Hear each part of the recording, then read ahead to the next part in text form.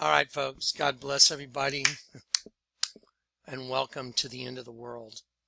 It's coming quickly, folks. Um, so listen, I want to, first of all, I want to start with telling everybody thank you, thank you for the prayers and the kind, the kind thoughts. I appreciate it. You know, uh, I'd like to just talk to y'all, you know, on just like a one-on-one level to each person. You know, I, I was, I was kind of bummed out about having to go in and have surgery at this this juncture because I know the end of the world's here and the Lord has confirmed it, you know, in so many ways. It's just, it's redundant. And I asked the Lord, I said, look, I'm so hurt right now. You know, and I mean, yesterday was a very difficult day and the day before was pretty rough. But especially yesterday, I even thought maybe I was going to the ER. But I said, Lord, so why did, why did it wait this long? Why did it wait this long to uh, to give me surgery? You know, this is the end, and it doesn't seem to really make sense to me that you would have me go into surgery this close to the end of the world. And I have a real big Bible in my living room, you know, one of these really old antique, really nice Bible that was given to me as a gift from my mom. And um and I said, Lord, why why would you have me be so hurt, so injured here at the very end, this is so difficult because I've got so much information to give everybody right now that you've given me. And I, and I, I asked an honest question. I'm like, I don't, I don't understand. And the Lord told me, I want you to go open that Bible. And I went and I opened up that, that Bible and it's a really big, big Bible. Sorry about that, guys. So I went and I opened that Bible.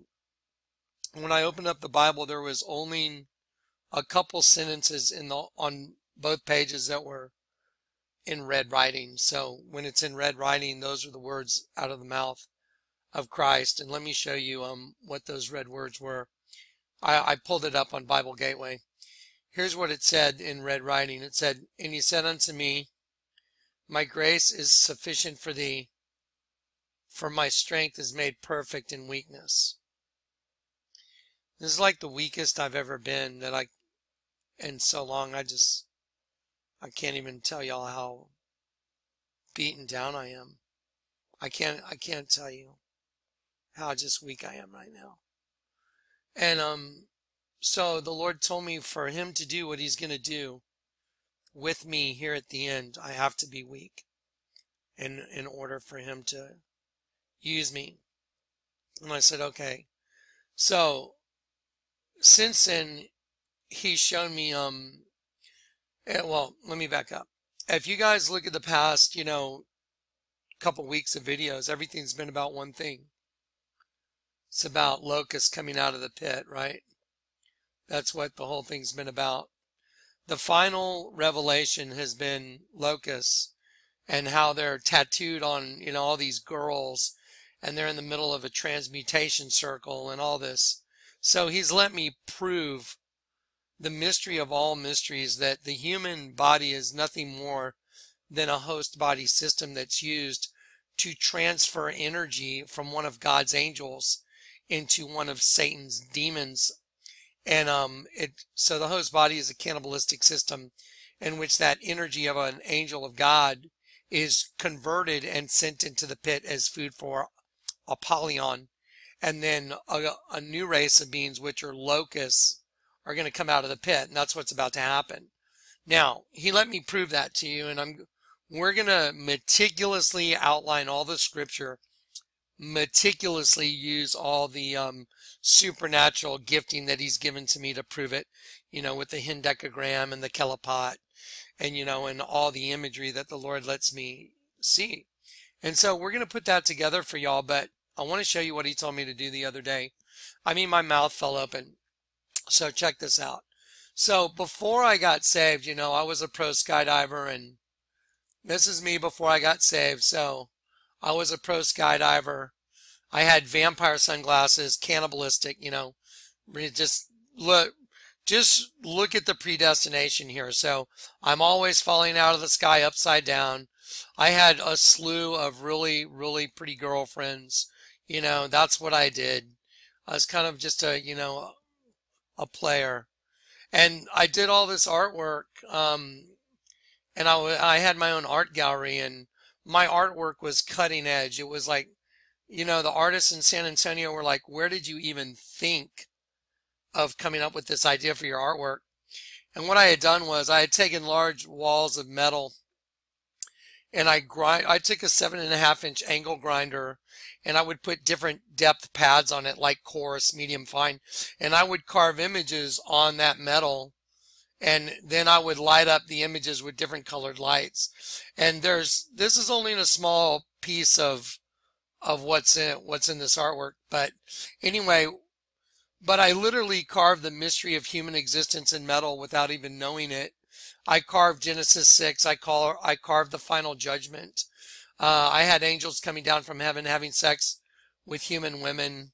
Um, I had the Garden of Eden. Um, um, anyway, and you know there's there's all this stuff. There's a serpent coming down into the garden right there, and there's a man and a woman having sex, and and I had all this crazy stuff that I had put in there before I got saved, you know, and, and I had never read the Bible. That's what's so crazy.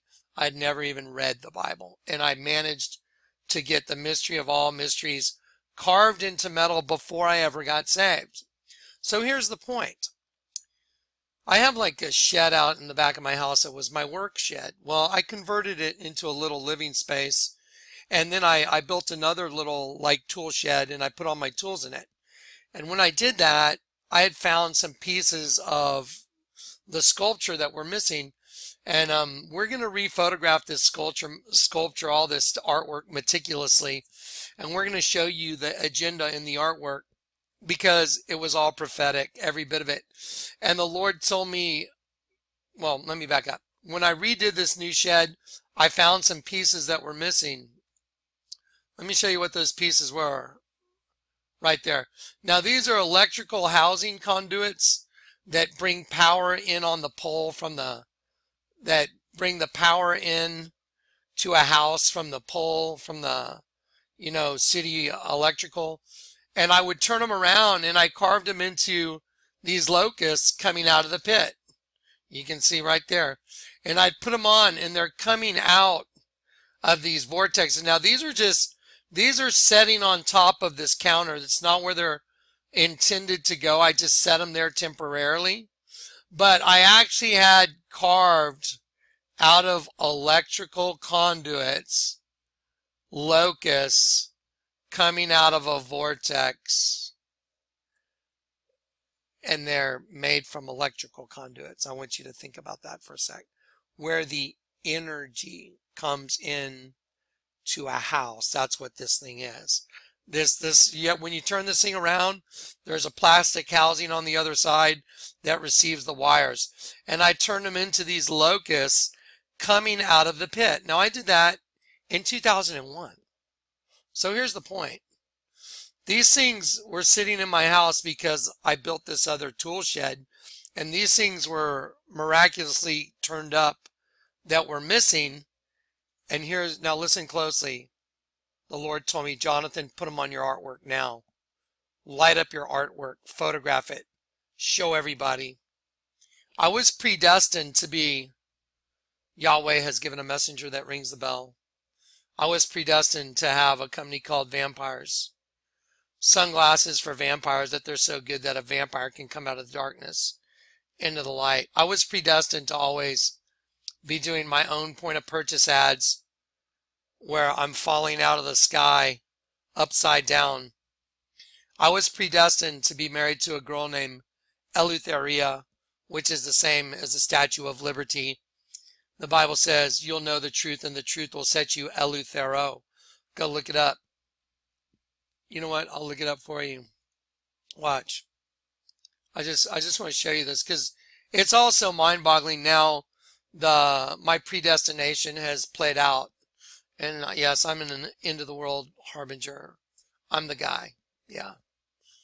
Anyway, so you will know the truth. Watch this.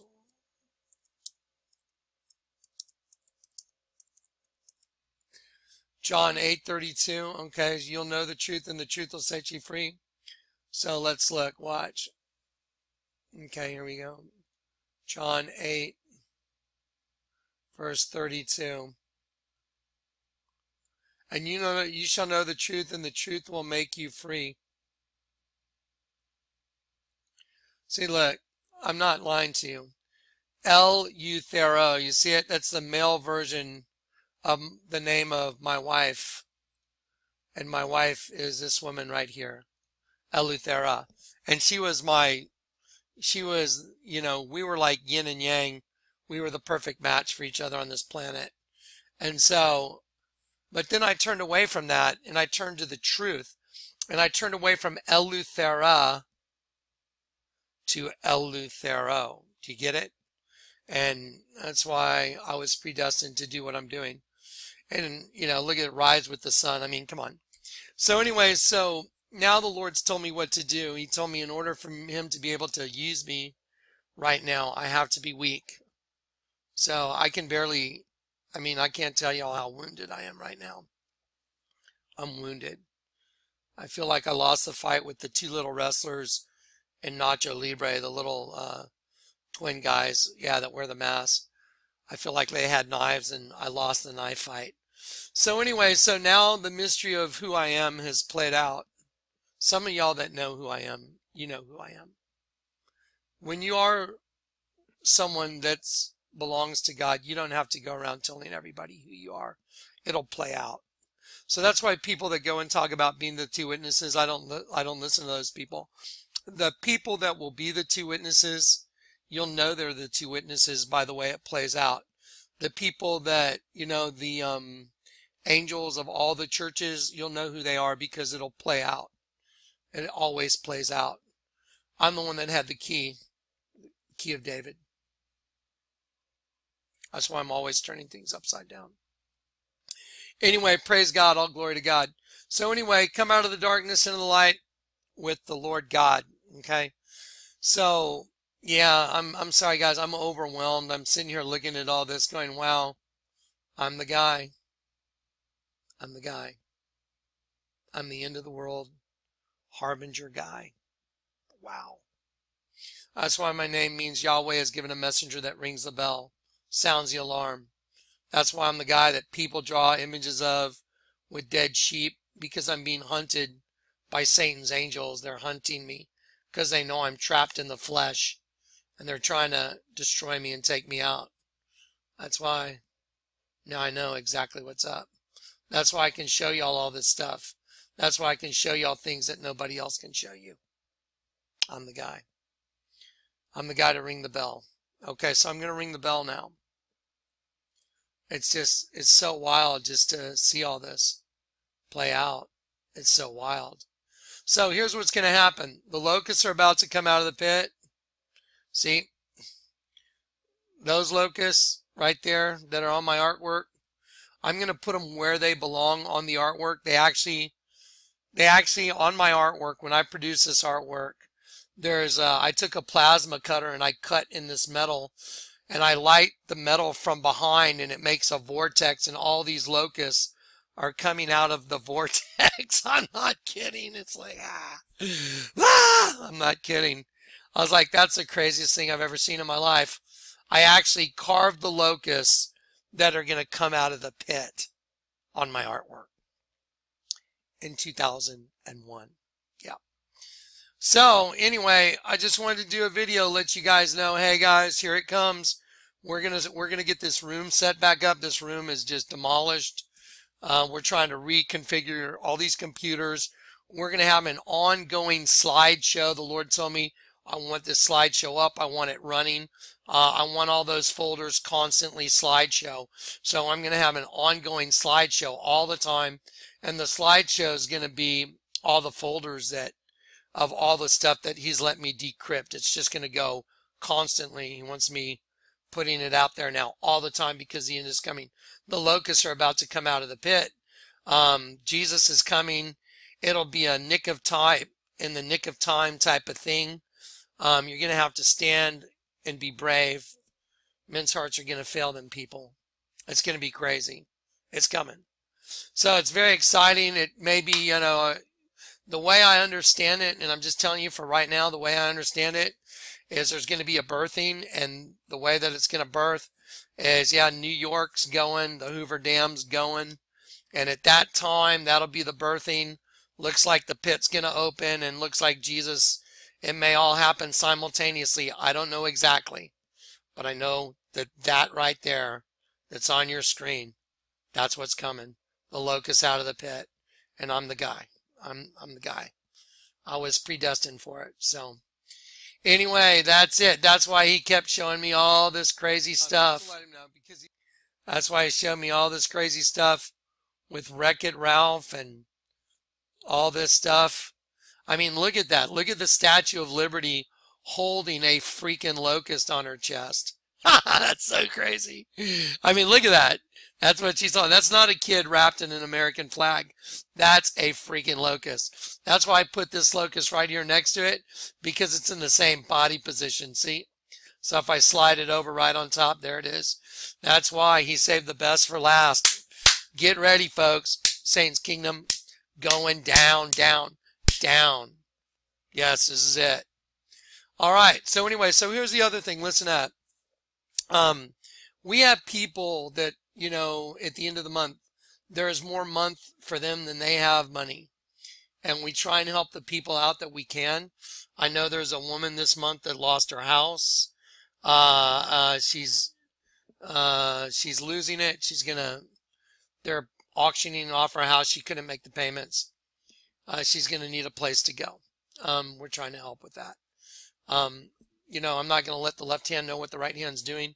Uh, we're doing other charitable things, but if you guys want to help us with that, I think on the YouTube channel, if you go to our YouTube thing somewhere on our channel, I think somewhere on our channel, there's a um, way to help.